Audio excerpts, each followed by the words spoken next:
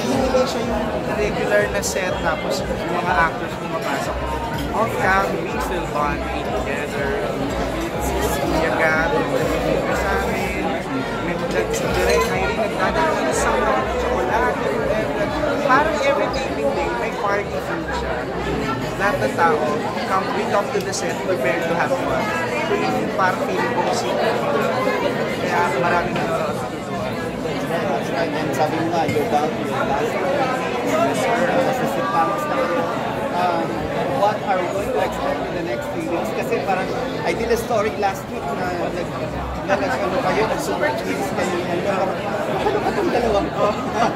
Masaya, nag-enjoy lang yung writers. Yung pa favorite namin sa Love It, talagang creatively, pero kung mag-suggest, kung ano gawin.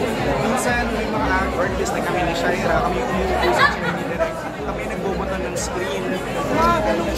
Kapitan, that I think opens up our creativity as collaborative creative artists. don't normally do other projects. Okay, so talagang dito ko na-feel yung parang siyang tumatambay kami actively.